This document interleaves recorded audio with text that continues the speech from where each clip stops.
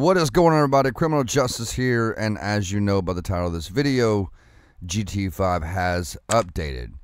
So, this is going to be for Steam and Epics. Now, I did a video not too long ago showing you how to back up your game version, and right here is my backup. So, I'm going to pull mine out for Epics, and I'm going to pull mine out for Steam, okay? Now, we're not going to use these just right yet. Now, for Epics, um, I'm going to do you guys first, Steam. Hang tight, okay? So, Epic users, go ahead and pull up your GTA5 main directory by going into your File Explorer, going to this PC, and selecting the hard drive on which you installed your GTA5. Go to Epic Games, and this is your main directory right here, okay? Now, as you can see, we're on version 3028. All right, so here's what you want to do to revert your game, Epic users. Open up that folder, and I will be providing these in my Discord for those who um, do not have the backup files. These two files right here and the four for Steam, I'll be providing my Discord. I will I will pin my Discord in the comments if you guys want to join and get those files. You are going to grab these two files from this folder, just right here, the ones you downloaded from my Discord or the ones you already have backed up. You are going to drag and you are going to drop them right here into your main directory you're going to replace the files in the destination, okay? And now if you look in your main game directory, you will notice that GTA5 EXE, if I can get it to do it, says 2944. So Epic users, you are good to go. You are done. Go ahead and play. Now, Steam users, there's a couple of ways. There's a couple of different ways that you can um, revert your game. So if you click on your Rage plugin hook and immediately hold down the left shift key,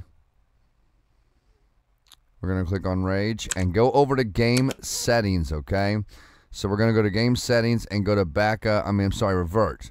Uh, you should have, now I don't have an option here because this is not my, I don't have Rage plugin hook installed in this file, but you should have a version, you should have an option here to revert.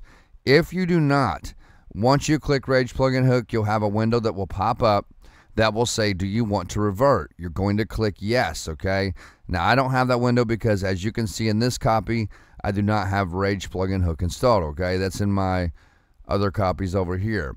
Now, again, if you have multiple copies of GTA5 and you have no access to these files, go to one of your other copies that are renamed, go in here and highlight the GTA5.exe the GTA5 language select, launcher, and the play GTA5, and you want to highlight all four of those at the same time.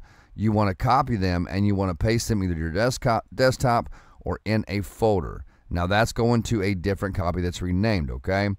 Now, uh, Epic users, I'm sorry, Steam users, once you're done reverting through Rage, if your game still does not work, this is what you want to do. You want to open up your main game directory and you want to open up those backup files and you should have four backup files. If you look in your main game directory, down here your exe should say the updated version of what we're on right now, which is 3028. There it is.